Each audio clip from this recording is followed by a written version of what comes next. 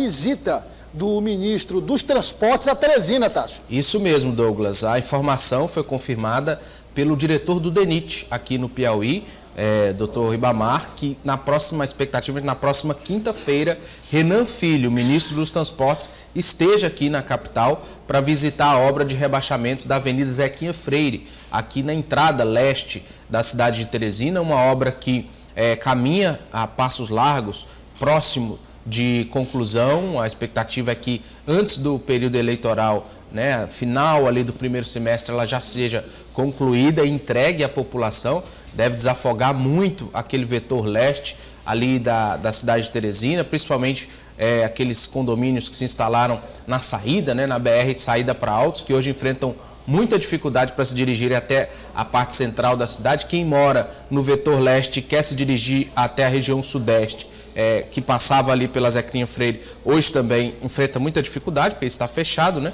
E a expectativa é que até o final do primeiro semestre esta obra seja inaugurada. E uma obra, Douglas, que curiosamente tem um fator político muito forte em todos os seus discursos, em todas as suas entrevistas, o pré-candidato Fábio Novo sempre aponta essa e, por exemplo, a obra do Mercado do Peixe como obras que, através de um alinhamento federal e estadual, se conseguiu concluir aqui na, na, na cidade.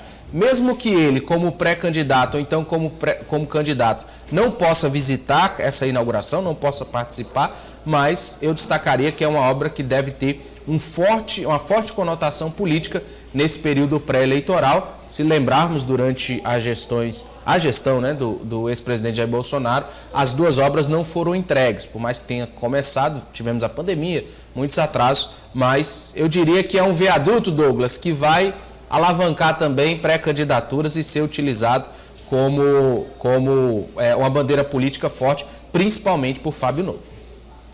Bom, Tássio volta, como eu disse, nos bastidores do poder. E eu queria saber do Tássio, qual o destaque, Tássio? Douglas, vamos falar sobre liderança de governo na Assembleia.